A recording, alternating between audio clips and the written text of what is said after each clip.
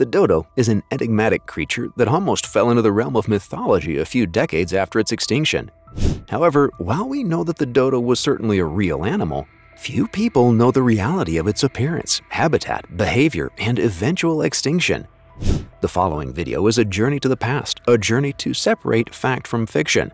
Was the dodo just a dumb bird unequipped to exist in the modern age?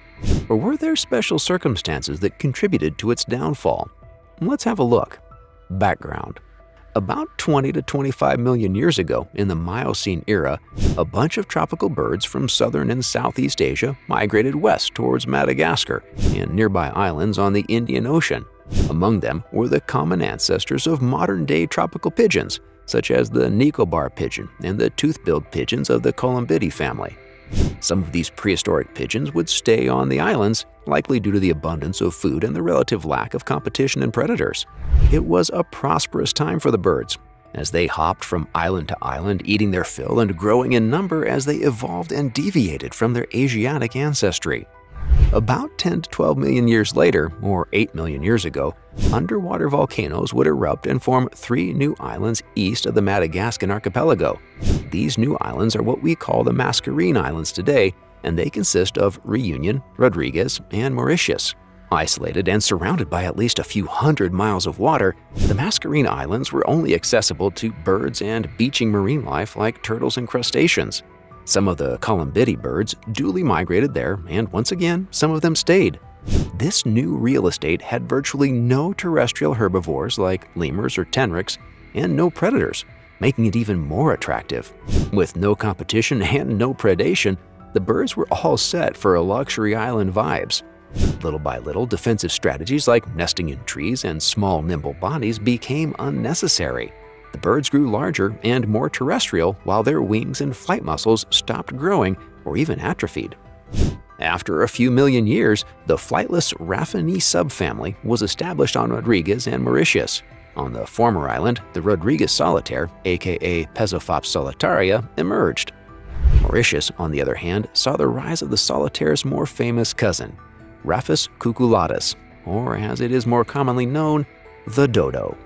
When was the dodo discovered? No one knows precisely when the dodo evolved into a distinct species, but it surely would have been sometime after the formation of Mauritius. All dodo fossils have been discovered on the island, and there was no way to reach the islands besides flight or swimming. Madagascar, the nearest region to the Mascarene Islands, is roughly 500 miles away. The island itself was first discovered by Arab sailors in the 10th century CE and was originally named Dina Arobi. It is also said that the island was familiar to pirates and other Indian Ocean privateers before the Portuguese found it in the early 16th century. However, there is very little Arab or Portuguese documentation that explicitly identifies the dodo birds. In 1598, a squadron of Dutch Navy men under the command of Admiral Wybrand van Warwijck landed on the eastern island, a place now known as Grand Port.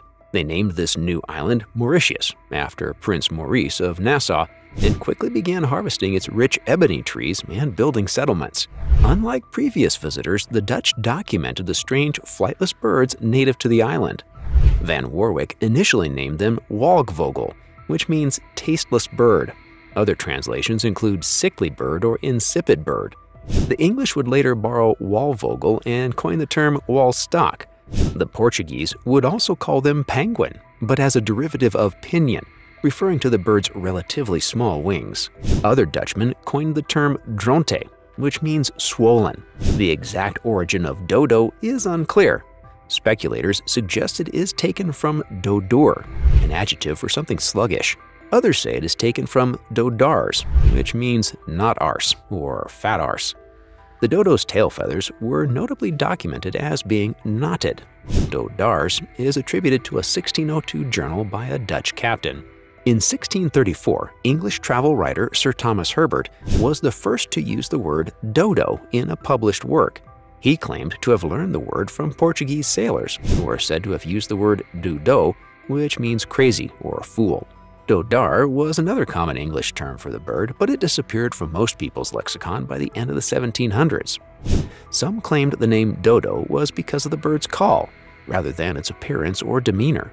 These claims suggest the bird made a two-note call that sounded like doo-doo. The genus name Raphus refers to Old World bustards and was coined by French zoologist Mathurin Brisson. The species name cucullatus means hooded and was inspired by Carolus Clusius's 1605 depiction of a dodo. Appearance and behavior. Most of what we know about the dodo is based on skeletal remains and written reports by people who saw it firsthand.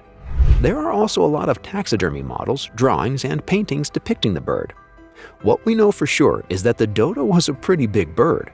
Early descriptions in the early Dutch settlers' journals detailed fowl twice as big as swans and small ostriches.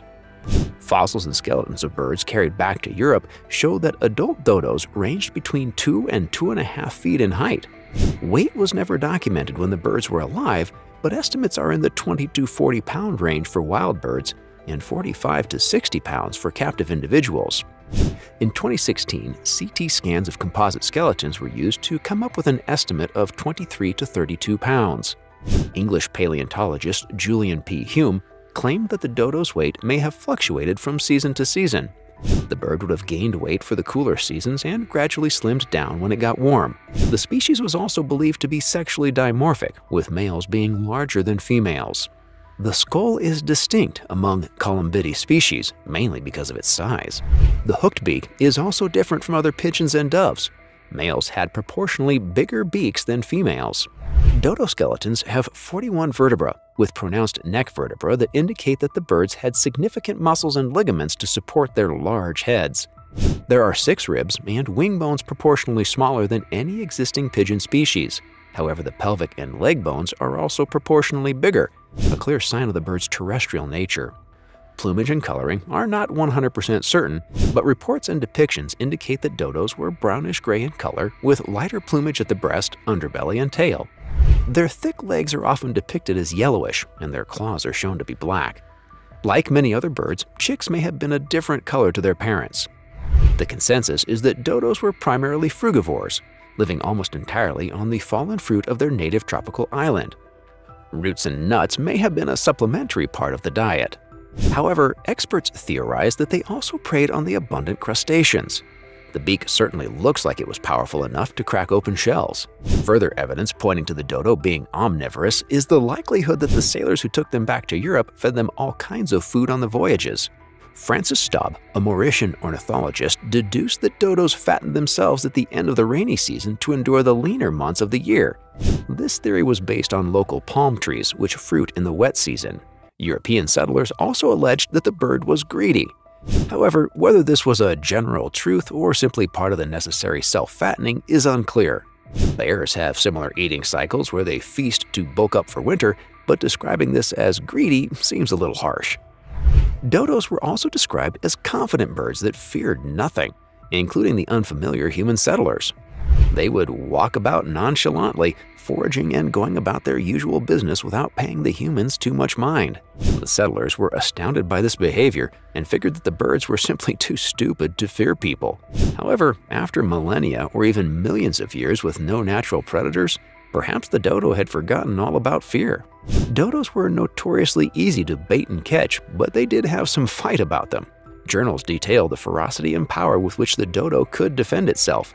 Its beak was its primary defense, and it could deliver excruciating bites to would-be captors. Little is known about dodo reproduction, but many experts believe females laid one egg at a time.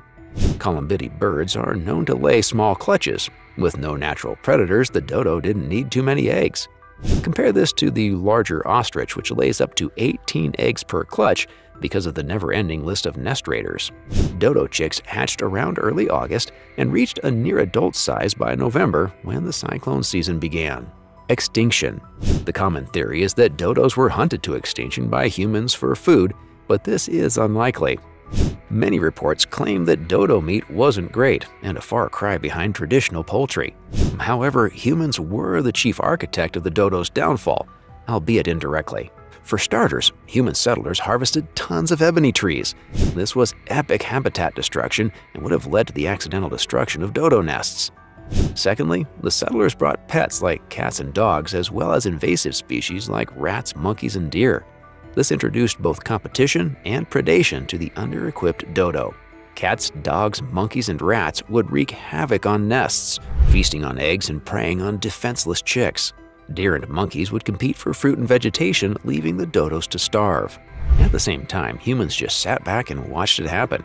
In the 16th and 17th centuries, people had no idea that a species could be wiped out for good. Extinction, as we know it, simply wasn't part of the vocabulary at the time, so conservation wasn't a thing either.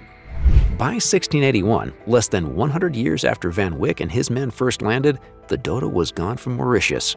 Only a few specimens transported to Europe survived, but they died out too because no one practiced captive breeding at a scale that could save the species.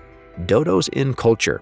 Today, the dodo is the go-to example of how badly human activity can devastate animals. Conservation groups use the bird to inspire efforts to save critically endangered species that may go the way of the dodo without human intervention. The dodo has also been used in pop culture works like Lewis Carroll's Alice's Adventures in Wonderland. It is often used to symbolize low intelligence and bumbling clumsiness. The bird has a bit more respect in its native Mauritius. The bird is part of the national coat of arms and is the national bird. The nation's soccer team is also nicknamed the Dodos, but as you would expect, they're not very good.